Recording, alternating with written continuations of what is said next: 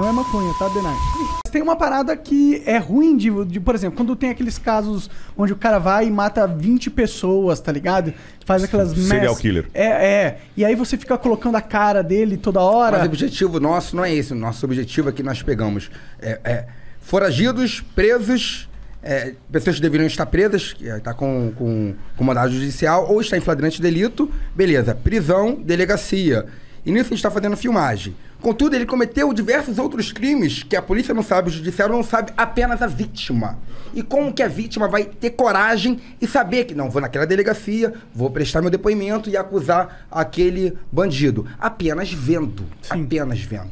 Ó, eu vou, vou- vou- vou tentar vou materializar o que ele falou num caso meu, por exemplo.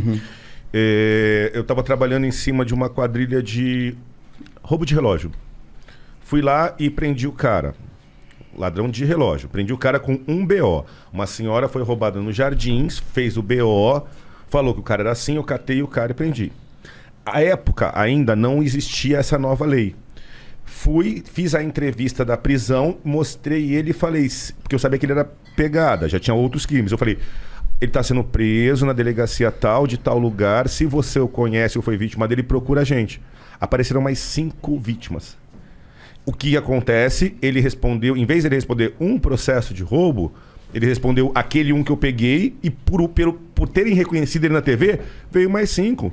Tomou 50 anos de cadeia em vez de tomar só 10. Da hora. Então eu preciso. Não posso mais. Eu Não não, posso. mais? Não, não posso. Não posso porque, Então, enfim. não... Entendi. Eu, eu acho. Eu só posso mostrar o rosto depois que tiver o- é, a sentença condenatória com trânsito em julgado. Daqui Então, 10, 15 anos. Ah, é? não, é, Demora muito. Ah, tá, entendi. O prazo. o processo, processo assim, três, quatro da- anos de da processo, morosidade brasileira. condenou, aí eu recurso, gosto. recurso, recurso. Mas o problema, eu não sei como é que é o TJ daqui. Os recursos, que o processo penal, é, é, é uno. Contudo, os recursos demoram muito no Não TJ. anda, não anda nada. Tem processo que demora 15, 20 anos É isso. no TJ. É isso, mesma Do coisa, Rio. mesma coisa. Pô, aí, deixa eu te perguntar um bagulho aí. É, beleza, vamos dizer que volte a poder mostrar a cara do, do- dos caras lá. Mostrou a cara dele, vem alguém e, pô, esse cara aqui também me roubou. Eu- Como é que é o procedimento? Eu vou pegar. Quando o dia que foi. A senhora tem o boletim? Tem, ó. Tá aqui o boletim. Eu vou pegar aquele boletim e vou instaurar um inquérito policial. Determina a instauração de inquérito policial para chegar tal. Primeiro ato que eu vou fazer, reconhece? Eu vou pegar o cara e vou colocar numa sala de reconhecimento com mais cinco, mais quatro. Esses, Quem- esses outros caras são, são aleatórios? Na prática, às vezes você pega uma pessoa que tá passando, um transeunte, uma faxineira que ajuda a gente. Você tem que dar um jeito Pode ali. ser literalmente qualquer pessoa. Qualquer pessoa, você Tá. tem que dar um jeito ali. e- e- mas assim, para você fazer um reconhecimento consistente, eu não posso pegar um suspeito negro e colocar esses Colocar um- quatro loiros. Isso aí. Então você tem que buscar alguma coisa na mesma aparência. Enfim.